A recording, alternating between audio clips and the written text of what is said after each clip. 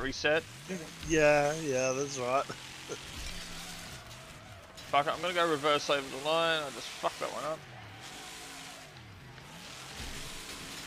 Oh! yes! Fish bet, yeah.